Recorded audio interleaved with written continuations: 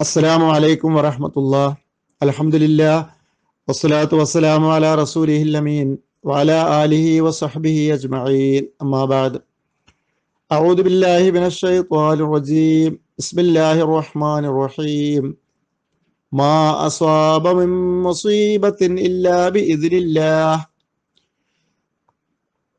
പ്രിയമുള്ള ദുആ learning school പഠിതാക്കളെ സഹോദരന്മാരെ സഹോദരികളെ അള്ളാഹുവിന്റെ അപാരമായ അനുഗ്രഹത്താൽ ഒരു പ്രഭാതം കൂടി ഒരു ദിവസം കൂടി അള്ളാഹു തല നമുക്ക് കനിഞ്ഞരുളിയിരിക്കുകയാണ് നമുക്കതിൽ അള്ളാഹുവിനെ സ്തുതിക്കാം അള്ളാഹുവിന് ശുക്രർപ്പിക്കാം അലഹമില്ല അലഹമില്ലാഹി റബ്ബിൽ ആലമീൻ.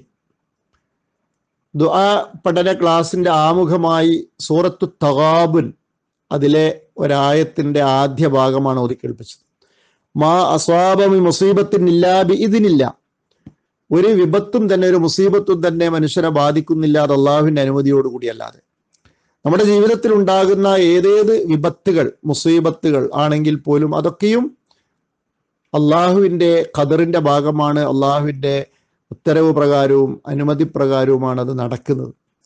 മുസീബത്തുകൾ മരണം ഒരു മുസീബത്താണ് രോഗം ഒരു മുസീബത്താണ് അപകടം ഒരു മുസീബത്താണ് സാമ്പത്തിക നഷ്ടം ഒരു മുസീബത്താണ്. അപ്പൊ ഇങ്ങനെ പല വിധത്തിലുള്ള മുസീബത്തുകളുണ്ട്. ആ മുസീബത്തുകളൊക്കെയും ഒരു വിശ്വാസിയെ സംബന്ധിച്ചിടത്തോളം അത് പോസിറ്റീവായിട്ട് അതിനോടുള്ള സമീപനം നാം ശരിയായ വിധത്തിൽ ഉൾക്കൊള്ളുകയാണ് എങ്കിൽ അതിനെ പോസിറ്റീവായിട്ട് നമുക്ക് മാറ്റിയെടുക്കാൻ സാധിക്കും. ഇവിടെ രോഗം എന്ന് പറയുന്ന മുസീബത്തിനെ സംബന്ധിച്ച് നമുക്ക് അല്പം ഒന്ന് ചിന്തിക്കാം.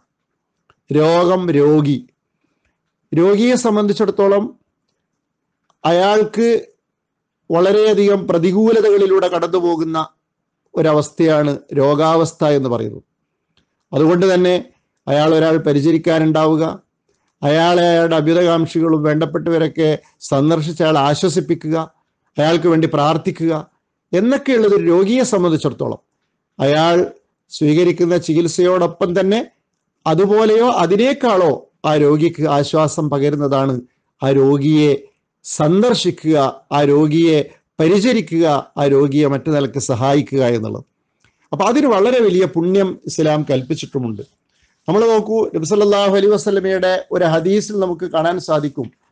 ഒരാൾ മൻ ആദ മരീലൻ നാദ മുനാദിമിന സമായ തുബുത്ത വത്താപ വംശാക്ക വത്തബവ്വത്തമില ജന്നത്തി മനസ്സില ഒരാൾ രോഗിയെ സന്ദർശിച്ചാൽ ആകാശ ലോകത്ത് നിന്ന് ഒരു വിളിച്ചു പറയുന്നയാൾ വിളിച്ചു പറയും. തുബത്ത നീ വളരെ നല്ല കാര്യമാണ് ചെയ്തത്. വത്താബ മംഷാക്ക നിന്റെ കാലടി പാതകളൊക്കെ നല്ല പ്രവർത്തനത്തിന് വേണ്ടിയിട്ടാണ്. ജന്നത്തി മനസ്സില സ്വർഗത്തിൽ നീ ഒരു ഭവനം അഭയമായി സ്വന്തമായി ലഭ്യമാക്കി ചെയ്തിരിക്കുന്നു നേടിയെടുക്കുകയും ചെയ്തിരിക്കുന്നു. ഇത് അബൂഹറയിൽ നിന്ന് ഇബിനു മാജനെ വേദനം ചെയ്ത ഹദീസിൽ ഇത് കാണാൻ സാധിക്കും. അതേപോലെ തന്നെ രോഗ രോഗീ സന്ദർശനത്തെ പ്രോത്സാഹിപ്പിച്ചുകൊണ്ടുള്ള ഒരുപാട് ഹദീസുകൾ നമുക്ക് കാണാൻ സാധിക്കും. രോഗിയെ സന്ദർശിക്കുന്നവർ ശ്രദ്ധിക്കേണ്ട കാര്യങ്ങൾ എന്താണ് എന്നുള്ളതാണ് പിന്നെ നാം മനസ്സിലാക്കേണ്ടത്. നമ്മളൊക്കെ രോഗിയെ സന്ദർശിക്കാറുണ്ട്.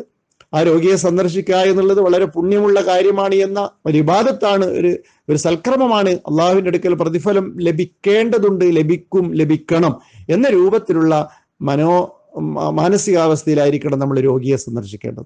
നാല് കാര്യങ്ങൾ ശ്രദ്ധിക്കണം. ഒന്ന് രോഗിയെ സന്ദർശിക്കൽ പുണ്യമാണ് എന്ന ആ പുണ്യബോധത്തോടുകൂടി ആ പുണ്യം എനിക്ക് ലഭിക്കേണ്ടതുണ്ട് എന്ന രൂപത്തിൽ ആയിരിക്കണം നമ്മൾ രോഗിയെ സന്ദർശിക്കേണ്ടത്. രണ്ടാമത് ആ രോഗിക്ക് വേണ്ടി നമ്മൾ പ്രാർത്ഥിക്കണം എന്നുള്ള ആ പ്രാർത്ഥന എന്താണെന്ന് നമുക്ക് പറയാം ഇൻഷാല്ല അതേപോലെ തന്നെ ആ രോഗിക്ക് വേണ്ടി രോഗിയെ നമ്മൾ ആശ്വസിപ്പിക്കണം. ആ രോഗിക്ക് ആശ്വാസമേകുന്ന വാക്കുകളാണ് നമ്മൾ പറയേണ്ടത്. ആ രോഗിക്ക് ഏതെങ്കിലും നിലക്കുള്ള പ്രയാസമുണ്ടാകുന്ന വാക്കുകൾ നമ്മൾ പറയാൻ പാടില്ല. ആ രോഗിക്ക് നമ്മുടെ സാന്നിധ്യം സാന്ത്വനമായിട്ടാണ് അനുഭവപ്പെടേണ്ടത്. അതുകൊണ്ട് തന്നെ രോഗിയുടെ സമീപത്ത് നമ്മൾ പറയേണ്ട വാക്കുകൾ നമ്മുടെ ബോഡി ലാംഗ്വേജുകളൊക്കെ ആ രോഗിക്ക് പ്രയാസമുണ്ടാക്കുന്നതാകാൻ പാടില്ല. രോഗിക്ക് ആശ്വാസം നൽകുന്ന ഹദീസിൽ ദഖൽതു അലൽ ഫനഫിസു ലഹു ഫിൽ അജൽ ഫഇന്ന ലാ വഹുവ എന്നാണ്. നിങ്ങൾ രോഗിയുടെ അടുത്ത് ചെന്നാൽ നിങ്ങൾ ആ രോഗിക്ക് ആയുസ്സിൽ ആശ്വാസം ജനിപ്പിക്കണം എന്ന് പറഞ്ഞാൽ ഇതിനേക്കാൾ വലിയ രോഗമൊക്കെ സുഖമായിട്ടില്ലേ? ആളുകൾക്ക് സുഖമാകുന്നില്ലേ? എന്നൊക്കെ പറഞ്ഞ് ആ രോഗിക്ക് ആശ്വാസം പകരുന്ന വാക്കുകളാണ് നമ്മൾ പറയേണ്ടത്.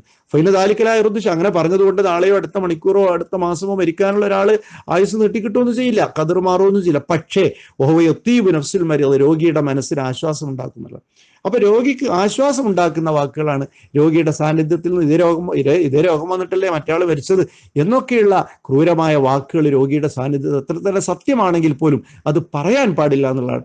നെഫിസു എന്നാ പറയുന്നത്. ആശ്വാസം പകരണം രോഗിക്ക്. ഇതാണ് മൂന്നാമതായി നമ്മൾ ശ്രദ്ധിക്കേണ്ടത്. നാലാമതായി ആ രോഗിയെ നമുക്ക് സഹായിക്കാൻ കഴിയുമെങ്കിൽ സഹായിക്കണം. അത് ശാരീരികമായ സഹായമാകാം അതേപോലെ തന്നെ സാമ്പത്തികമായ സഹായമാകാം അതേപോലെ തന്നെ സ്വാധീനപരമായിട്ടുള്ള ആ രോഗിയെ ഇപ്പൊ റൂം കിട്ടുന്നില്ല. അപ്പൊ നമുക്ക് ഈ ആശുപത്രിയിൽ ഒരു സ്വാധീനമുണ്ട്. അല്ലെങ്കിൽ ഇന്നയാളെ കണ്ടാൽ ഞാൻ ഞാൻ പറഞ്ഞാൽ എനിക്ക് പരിചയമുള്ള ഒരാളുണ്ട്. അയാളോട് പറഞ്ഞ് വാർഡിൽ നിന്ന് റൂമിലേക്ക് മാറണം. എന്നുള്ള ഒരു അല്ലെങ്കിൽ എ സിയിൽ എ സിയിൽ അഡ്മിറ്റ് ആകേണ്ടതുണ്ട്. അല്ലെങ്കിൽ എ സിയിൽ നിന്ന് റൂമിലേക്ക് തന്നെ വരേണ്ടതുണ്ട്.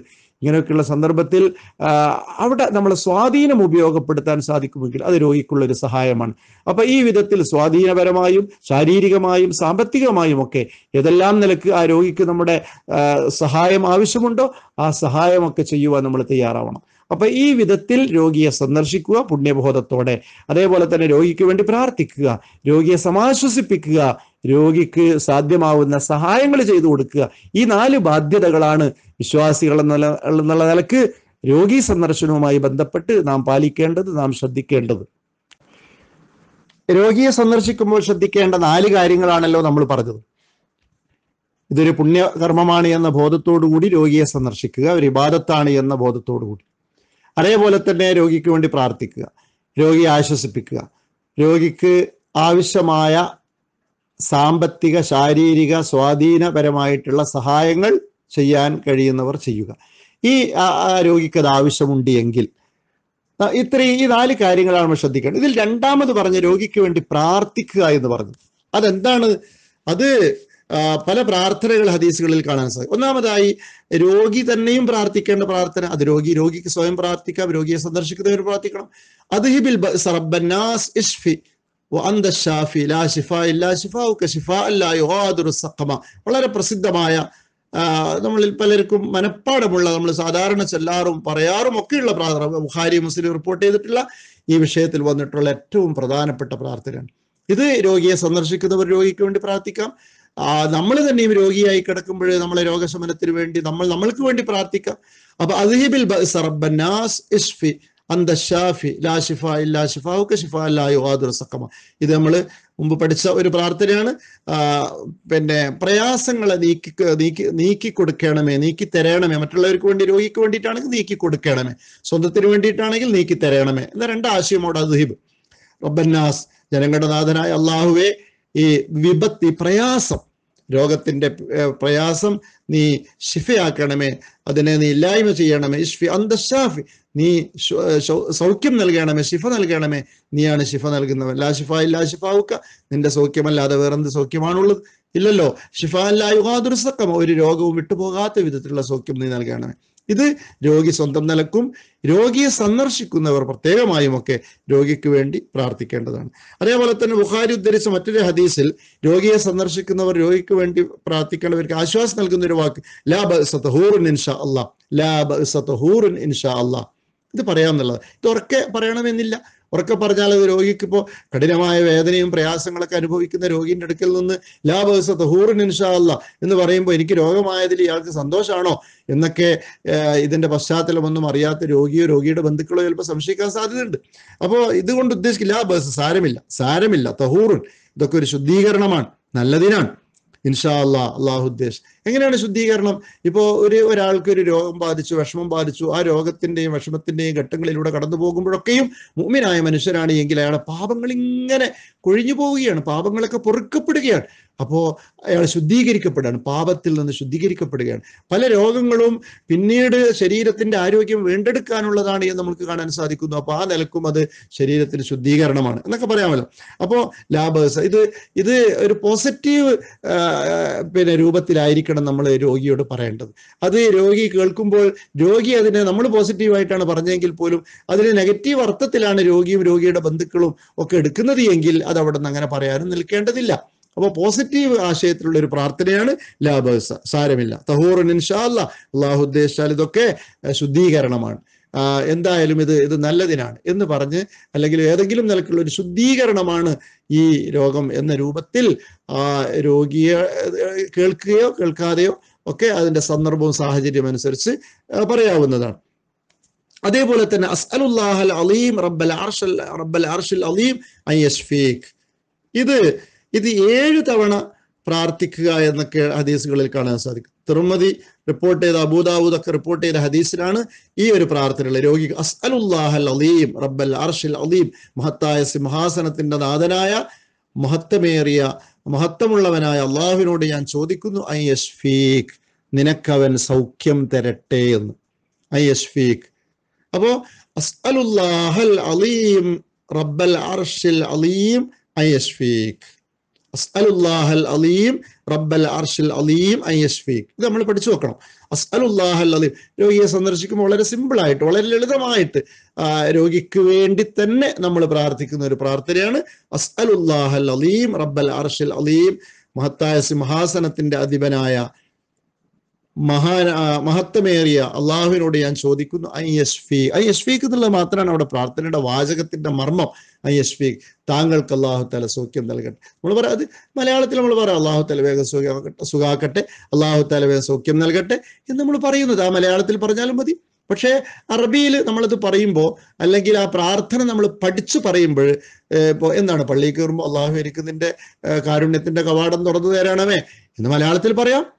നേരെ മറിച്ച് പ്രവാചകൻ തന്നെ അതിന് പറഞ്ഞു തന്ന വാചകങ്ങൾ അക്ഷരങ്ങൾ അതേപോലെ മനപ്പാടാക്കിയിട്ട് അത് പറയുമ്പോൾ ഒന്നും കൂടി ഇത് ഹാർട്ടബിൾ ആകും.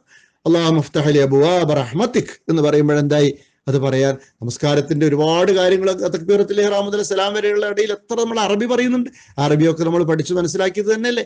അതേപോലെ ഇത്തരം കൊച്ചു കൊച്ചു പ്രാർത്ഥനകൾ അത് പഠിച്ച് ജീവിതത്തിൽ നിത്യമായി പ്രാവർത്തികമാക്കുവാൻ നമുക്ക് പ്രയാസം ഉണ്ടാവുകയില്ല അതുകൊണ്ട് ഈ പ്രാർത്ഥന നമ്മൾ പഠിച്ചു നോക്കുക. റബ്ബൽ എന്ന പ്രാർത്ഥന നമ്മൾ പഠിക്കും അള്ളാഹുത്തല നമ്മളെല്ലാവരെയും അനുഗ്രഹിക്കുമാറാകട്ടെ. വലിയ ബലാ മുസീബത്ത് നിന്നൊക്കെ അള്ളാഹുത്തല നമ്മളെല്ലാവരെയും കാത്തുരക്ഷിക്കുമാറാകട്ടെ. അസ്സാം വലൈക്കും വറഹമത്തുള്ള